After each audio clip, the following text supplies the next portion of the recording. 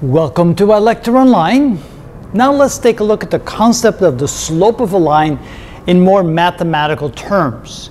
So typically when we talk about the slope of a line, we place the line on an xy plane. So here the horizontal axis is considered the x-axis, the vertical axis is considered the y-axis. And then here we drew a line on that xy plane and the point where the line crosses the y-axis, that's usually called the y-intercept, and we are going to use that at some later time. Then we place two points on the line. So we have point 1 over here and point 2 over there. Notice that point 2 is to the right of point 1. We usually give each of the points coordinates. In other words, the first number represents the x coordinate, in this case x equals 2, and y, the y coordinate, in this case, y equals 3. So that's the point 2, 3, indicating the x value for that point is 2 and the y value for that point is 3.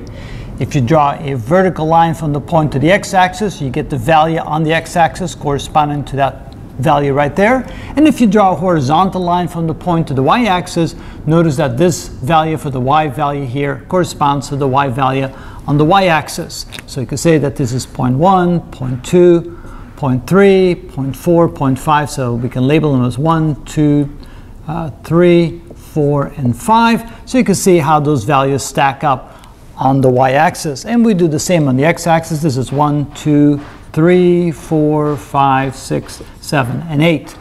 All right.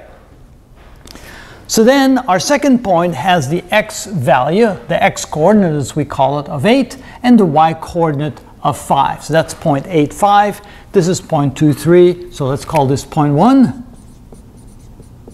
And let's call this 0.2. And we can actually pick any two points line. It doesn't really matter.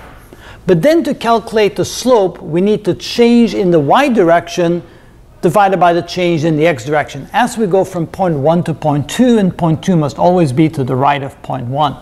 Here graphically we can see that this distance is the change in the x direction. This distance is the change in the y direction. This triangle symbol there means change. So that means the change in y and the change in x.